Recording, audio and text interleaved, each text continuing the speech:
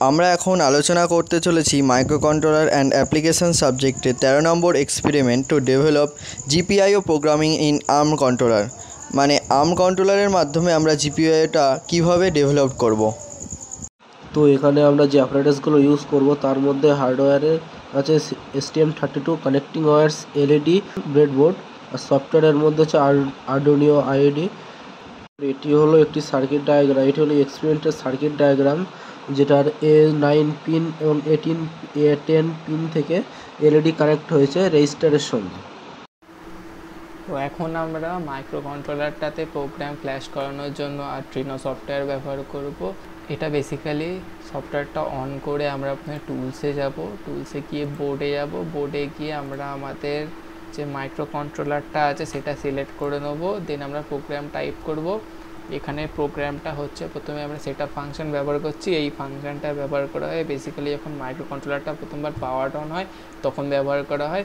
দেন আমরা pin mode function ব্যবহার করছি। এখানে আমরা এ টেন আর এ এ নাইন পিন থেকে নিচ্ছি। বেসিক্যালি পিন মোড আমরা তখন ব্যবহার করি যখন আমাদের ওই বেসিক্যালি ওই পিনগুলো থেকে আউটপুট লাগবে। মানে ওই পিনটা, ওই পিনগুলো থেকে এক্সটার্নাল যে কোনো কম্পোনেন্টে আউটপুট যাবে। তো তখন আমরা পিন মোড ব্যবহার করি। তারপর আমরা লুপ ফাংশান ব্যবহার করছি। লুপ ফাংশন একটাই কেসকে বারবার রিপিটেডলি এক্সিকিউট করে। তো এখানে আমরা ব্যবহার করছি ইনিশিয়ালি প্রথমে ডিজিটাল রাইট ব্যবহার করছি। ডিজিটাল লাইট রাইট প্রথমেই এ টেন পিনে হাই আউটপুট দেবে।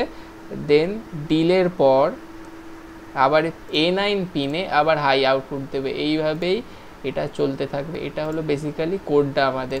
দেন এই কোডটা ঠিক না ভুল, সেটা আমরা এই স্কেচে গিয়ে এখানে ভেরিফাই অর কম্পাইল করলে আমরা দেখতে পাবো যে এতে কোনো সমস্যা নেই কিনা। এখানে যেহেতু দেখিয়ে দিচ্ছে, কোনো এরর আসছে না, তো এই কোডটা একদম সঠিক। দেন আমরা এইখানে আপলোড বাটন আছে, এইখান থেকে আমরা মাইক্রো কন্ট্রোলের মধ্যে আপলোড করে দেবো। মেন জিনিস এই যে এখানে ইউএসবির সাথে মাইক্রো মানে বেসিক্যালি কম্পিউটারের সাথে মাইক্রো কন্ট্রোলারটা কানেক্টেড থাকতে হবে। না থাকলে এরকম এরর দেখা দেখিয়ে দেবে।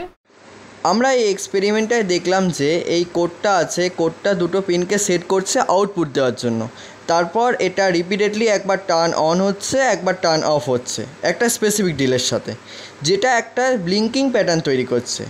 এই প্যাটার্নটার মধ্যে অল্টারনেটিং আছে লাইটটা কিন্তু কিছুক্ষণ পর অল্টারনেটিংটা একটু স্পিডে হচ্ছে।